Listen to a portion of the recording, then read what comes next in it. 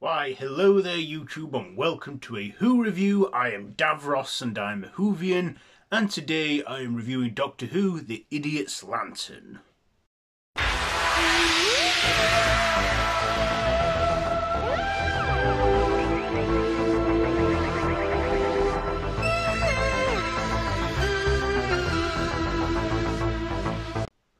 So this is an episode from 2006 where the Doctor and Rose find themselves in 1953 at the coronation of Queen Elizabeth II.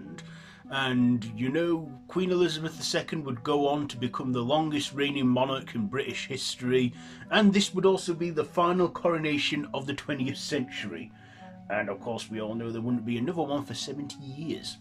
So, anyway, yeah, Everyone's buying a television at fair prices from Mr. Magpie, only to find that he is being controlled by an alien entity known as the Wire, played by Maureen Lipman, who takes on the shape of a TV presenter, um, you know, as you know, and feeds on people's energy and takes their faces, and then of course the Doctor has to stop the Wire and you know save everyone from who's watching the coronation from getting gobbled up by the wire, because that's what the wire feeds on energy in people's faces.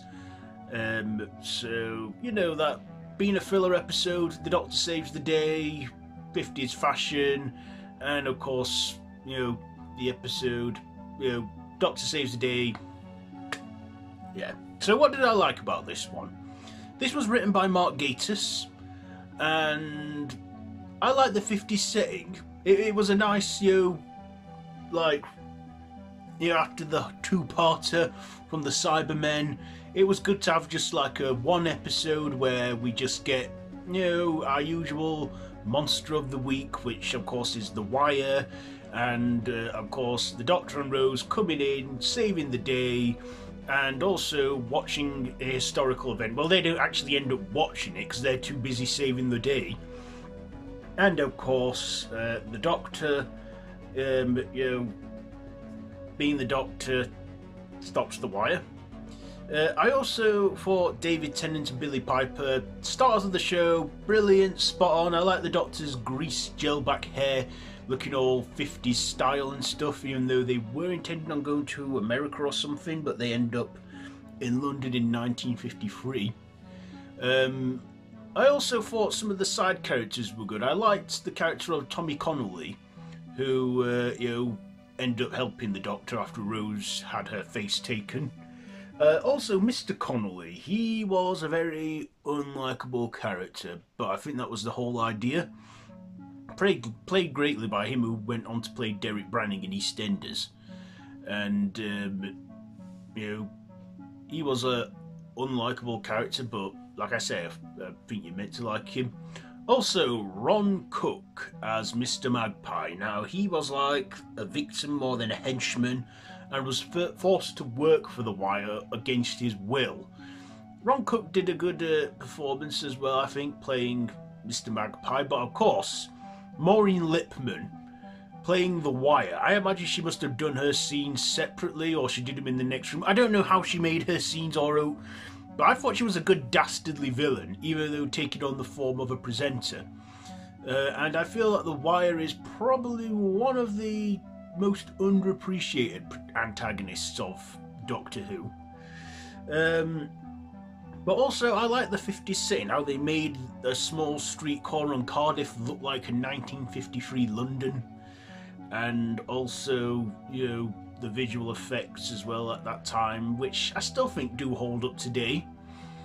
And, you know, and the sinister menacingness of Maureen Lipman. Also, that bit where, you know, the Wire takes people's faces and puts them on a TV screen. That's a bit, you know, unsettling. Like, taking your face and having faceless people. That's when it gets to the creep factor. So I like the creep factor in this episode as well. And uh, the just, you know, it, it was a good filler episode. It didn't bore me. It was entertaining. You know, something to just sit back and relax and watch. You know, before we get another two part of the following episodes, you know, with the Ood and the, the Beast. But yeah, I enjoyed uh, you know, the Idiot's Lantern. It was a good episode. So ratings now. Performances, I'll give them a nine. Writing, I'll give it an eight. The visuals, an eight, and my personal, I'll give it an eight because it is it was an interesting one. Also, I was Doctor Who mad back then, and I would watch this these the two series that I had at the time religiously. So yeah, that's it for this one, I think. So yeah, have you seen the Idiot's Lantern? Let me know down in the comments below. If you like this video, be sure to give it a big thumbs up, share with your friends, and feel free to subscribe to the channel if you haven't already, and to hit that notification bell. I've been DavRoss the Whovian, and this has been a Who review. So until next time, run for your life.